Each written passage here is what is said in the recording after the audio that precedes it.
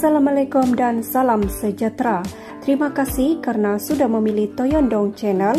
Sebelum kita mulakan, jangan lupa di subscribe dulu agar anda tidak ketinggalan cerita baru mengenai artis hiburan Malaysia dan artis hiburan Indonesia.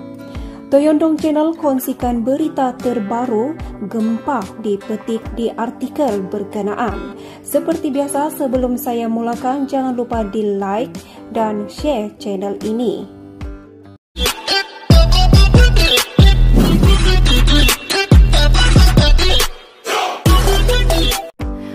Penyanyi dan pelakon Siti Nurdiana alias yang kehilangan suara sejak seminggu lalu memberikan keterangan dengan menulis melalui iPad pada kes perbicaraan saman fitnah difailkannya terhadap lima individu termasuk dua rakan seperjuangannya iaitu Lan Solo dan Shura Badron. Di awal prosiding perbicaraan hari ini, Siti Nurdiana atau Nana selaku pelentif hanya menjawab setiap soalan diajukan peguam defendant mewakili Lan dan Syura iaitu Azlan Abdul Razak. Bagaimanapun disebabkan Nana masih belum mempunyai suara, Azlan kemudian memohon mahkamah supaya penyanyi itu dibenarkan menjawab soalan dan memberi keterangan dengan menulis dalam iPad yang dipancarkan ke skrin televisyen. Perbicaraan yang sepatutnya berlangsung semalam ditangguhkan kepada hari ini berikutan penyanyi itu hilang suara dan mendapat cuti sakit daripada klinik kerajaan. Sementara itu, Nana memberitahu mahkamah siaran langsung lima individu terbabit menerusi akaun Instagram masing-masing menyebabkan ada kontrak duta produk tidak disambung. Apabila disoal Azlan yang mewakili defendant mengenai kontrak apa yang tidak disambung Nana berkata pengurusnya yang mengetahui secara spesifik. Saya hanya diberitahu ada kontrak tidak disambung. Selepas itu sudah tidak ada kontrak duta untuk saya sampai sekarang kata Siti Nurdiana.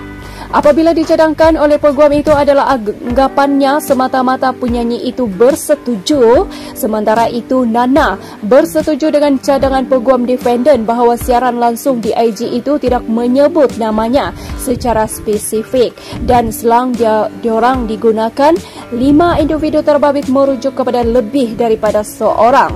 Bagaimanapun Nana tidak bersetuju bahawa semua bahagian video itu tidak menyebut namanya. Azlan, bagaimana kamu merasakan setiap apa yang diperkatakan dalam siaran langsung memfitnah kamu?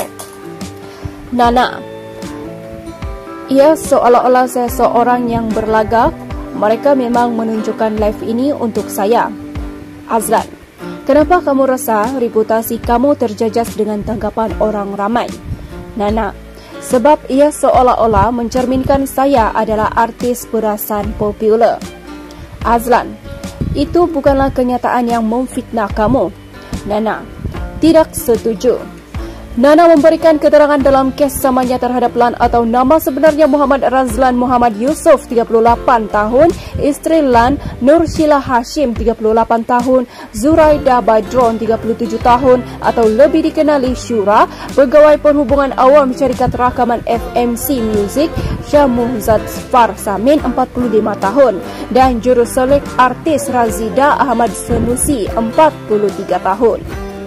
Sebelum ini, pengurus Nana Muhammad Al-Anas Osman selaku saksi kedua pelentif memberitahu mahkamah sama penyanyi dan pelakon itu kehilangan kontrak pengiklanan sebagai duta tiga syarikat komersial berikutan siaran langsung berkenaan.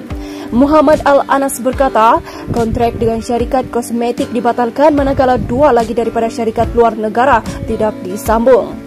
Terdahulu, dalam pernyataan tuntutannya, Nana mendakwa pada 20 Julai 2021 melalui siaran langsung dikendali oleh Nur Sheila yang disertai empat defender lain menyiar, mengeluar dan menerbitkan kata-kata berunsur fitnah terhadapnya. Peserta All-Star Gegar Vaganza itu mendakwa fitnah itu membawa maksud antaranya dia bukan artis yang bersih dan dihormati. Ego tidak mendengar nasihat dalam segala perkara dan menggunakan wang serta populariti bagi memastikan dirinya dihormati.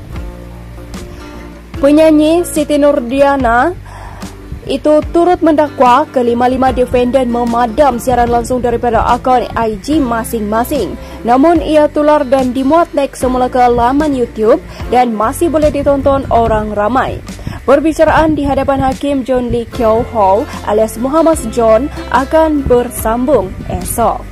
Untuk berita terkini, hiburan dalam dan luar negara, Jangan lupa like, komen dan share Toyondong Channel agar anda tidak ketinggalan cerita baru seterusnya. Terima kasih.